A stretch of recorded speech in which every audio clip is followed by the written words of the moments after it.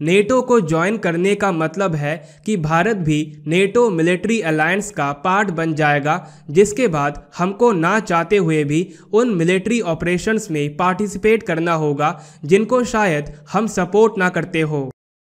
नमस्कार, जय हिंद। ना, अभी रिसेंटली नेटो के फॉरेन मिनिस्टर्स की एक मीटिंग हुई, जिसमें यूएस के नेटो एम्बेसडर जूलियन स्मिथ ने साउथ एशिया और इंडो पैसिफिक को लेकर कुछ बातें कहीं, जिसमें इन्होंने ये कहा कि भारत के लिए नेटो के दरवाजे हमेशा के लिए खुले हैं इन टर्म्स ऑफ़ एंगेजमेंट हम इंडो पैसिफिक में भारत के साथ अपनी एंगेजमेंट को बढ़ाना चाहते हैं, मगर फ़िलहाल इस वक्त एशिया पैसिफिक या इंडो पैसिफिक में हमने किसी भी देश के साथ कोई मेंबरशिप वाली चीज़ को अभी तक कंसिडर नहीं किया है। और ना ही हमारा ऐसा कोई प्लान है कि भारत के साथ हमारा कोई बड़ा ग्लोबल मिलिट्री अलायंस बने, मगर in terms of the future with India at least engagement के लेवल पर भारत को नेटो अलायंस में इंटरेस्टेड होना चाहिए। In terms of the future with India I think NATO's door is open in terms of engagement should India be interested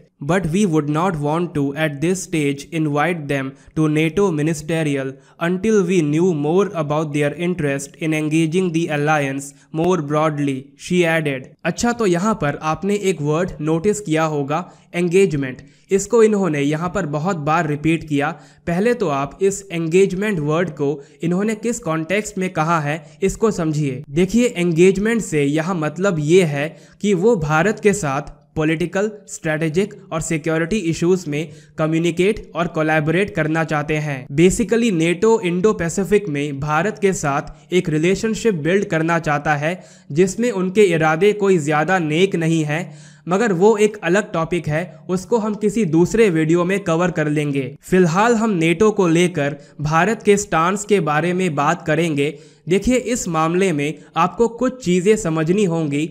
सबसे पहली चीज़ देखिए, भारत की अपनी एक इंडिपेंडेंट फॉरेन पॉलिसी है, जिसमें हम लंबे समय से एक नॉन अलाइनमेंट पॉलिसी को मानते आ रहे हैं। इसका मतलब ये है कि भारत अपने इंटरनेशनल रिलेशंस में बहुत ही न्यूट्रल और इंडिपेंडेंट रहने की कोशिश करता है। इस पॉलिसी का बेसिक आइडिया ये है कि भारत को अपने डिसीशंस लेने के लिए दुनिया के किसी दूसरे देश या किसी भी अलायंस को पूछने की ज़रूरत नहीं है।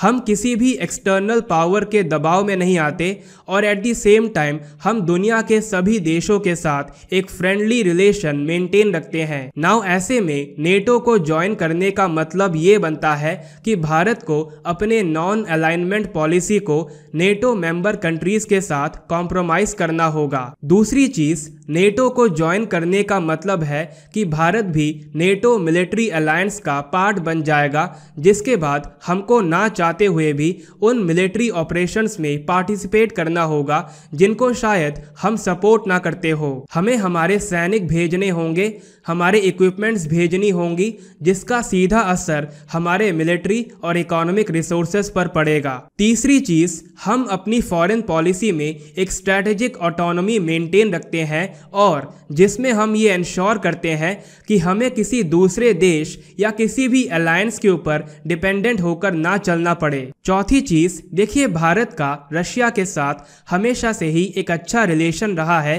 ट्रेड और डिफेंस के मामले में। रशिया को नेटो से काफ़ी सारी समस्याएँ हैं। ऐसे में अगर भारत नेटो से बात भी करता है तो इससे रशिया इंडिया रिलेशंस में एक नेगेटिव इम्पैक्ट आ सकता है। पांचवी चीज़, देखिए साउथ एशिया में भारत एक मेजर रीजनल पावर है।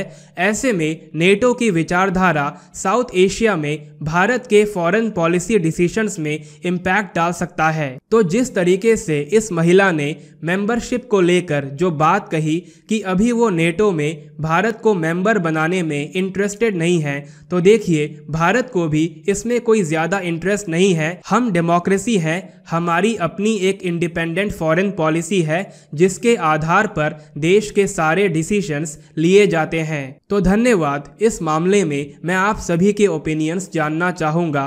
कमेंट सेक्शन में अपने ओपिनियंस लिखिए। Like always I wish you all a very good health जय हिंद।